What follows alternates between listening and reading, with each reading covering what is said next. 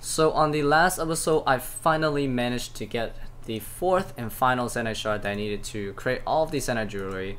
So with that, I'm currently working on 93 crafting so I can boost to make the Torture Amulet the best melee amulet in the game. And I didn't mention this uh, training method that I'm working on right now to train my crafting and it is simply to use the cut gems and turning them into the uh, amulets unstrung. So even working with sapphires, the lowest uh, gems, I'm still getting over 60k an hour and this is me being really laid back. You can get over 70k an hour pretty easily if you paid a bit more attention to it. And of course I used uh, rubies, emeralds, and even diamonds. And at diamonds, you can get over 100k crafting experience an hour making the uh, diamond amulets. So it's really, really good XP. So turning gems into amulets is really only recommended for like higher level Ironmans because if you're early to mid level Ironman, you probably will need your gems for like you know things other than just for crafting XP. Now if you are late game Ironman like me, you don't really have to worry about that too much because uh, stuff like raids gets you a lot of gems. So I had a bunch of spirit tree seeds and uh, I know a lot of people like don't like seeing them because usually when you get these as a drop from Zulrah or something, it's like considered troll, but believe me, these are no troll drops. I mean, look at the XP that I get from one of these trees. Almost 20k. I have 20 plus of them, so that's like, yeah, that's over 400k experience into farming. So guys, I'm making pretty good progress on the 93 crafting goal. Uh, so I can make the torture amulet. I'm 400k away, so I hope to get that within one or two days. Now there is another problem though. I don't have another onyx to go along with the Zenyte that I have. So what I plan on doing is actually I'm gonna probably go back to Zulrah and uh, slate that snake for the onyx at least for a bit because I think there is a third onyx coming up. I, I'm just feeling it and the other reason is because I really want to get some more scales. Uh, very soon I'll probably run out of scales, so inevitably I have to go back to Zulrah anyways. But obviously, if there's a chance that I spend a few days there and, and I don't get the Onyx from it, I guess I'll just say, alright, screw it. I'll just sell Chaos Runes for the Onyx, but... So, this is uh, my 8 kill trip. I didn't bank. I was just, you know, replenishing at my house, using a pool, and then just ferrying back to Zulrah. And yeah, 8 kills. I could do more though. Like, I have so much food. So, uh, this setup is crazy. But wow, I got 1 million in drops from 8 kills. That's that's just insane. I forgot how crazy Zulrah was. What's the drop though? Oh, okay, okay. I am looking for a really rare gem. Not this one though. Oh my god, no. No way. Seriously. Oh wow, I got an elite clue scroll. Bank pin update came out already, so change logout behaviors. Yeah, that was never there. On login from same place, log after 5 minutes offline. That's awesome. That way I can hop around a lot and uh, I don't have to redo my pin, so... Somewhere here... Oh! What? You serious? I just teleported here and I found the spot? Oh fuck! No! Shit, shit, shit. Teleport, teleport! Holy shit, I didn't even see that this was multi. Round two. Fight! Bitch! You wanna go? See ya later, man. This is Master Clue number 20, so uh, here goes nothing. Oh my god! Yo, Armadyl Godsword Ornament Kit. The only Godsword that I don't have on me. I get the uh, Ornament Kit for it. Dang, that's nice though. Yo, I'll take that, man. AGS Ornament Kit. I know what I gotta do soon. Oh, this is also my first ever ornament kit. So this is like my third or fourth raid uh, using, you know, Augury for Olm. And let me tell you, man, Augury is amazing, yo. Like, I, I feel like my Olm kills are, on average, like one minute faster. Like, seriously, one whole minute faster. Yo, nice. Got a new uh, personal record, man not even trying, you know, bust up a few venge and vulnerabilities and all that stuff. Could get get it to like sub a uh, minute. But yeah, I'll take that, man. PR for casual kills. So I am done crafting all my cut gems into jewelry. That got me all the way to 200k. experience to go for 90 crafting. So I'm at like the final hurdle, you know. Like tomorrow is probably gonna be the day that I get it. And this is the final product.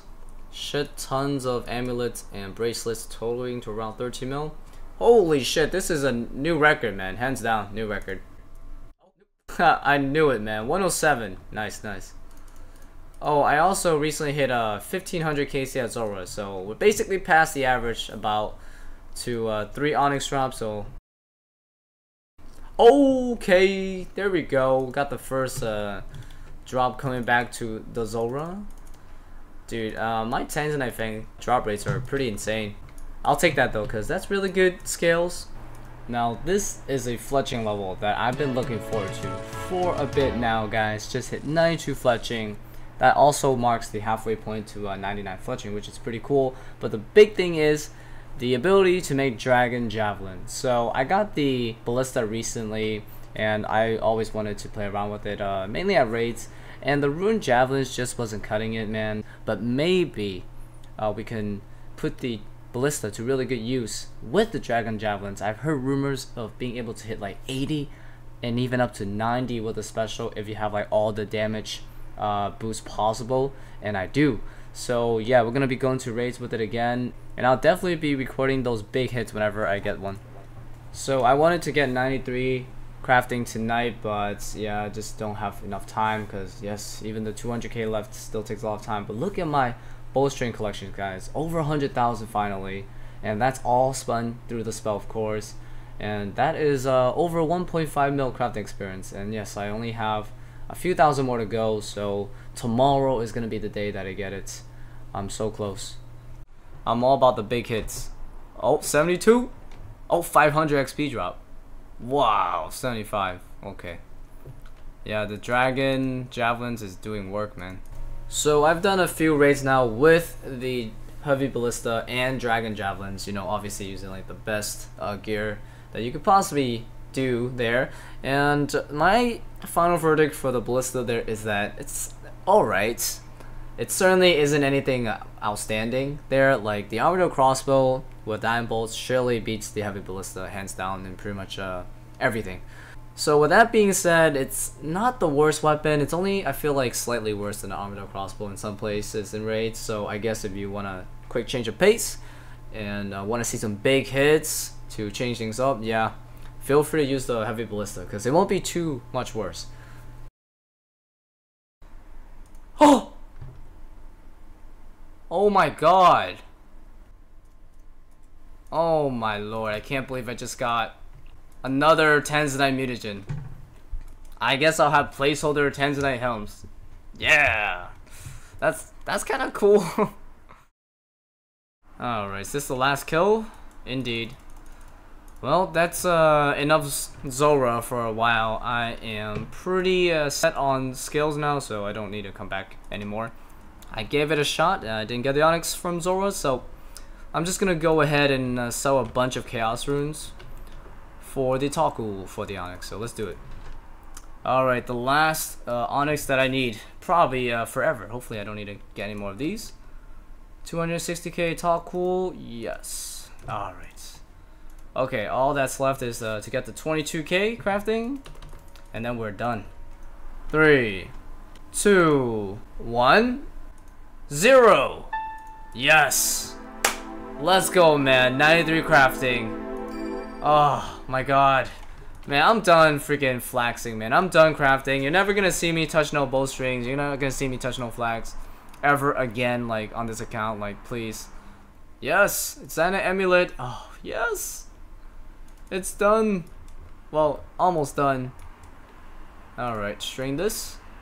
Yes. Oh, level 7 enchant. Here we go. Yes! Oh my lord. It is done. Alright, let's put on this bad boy.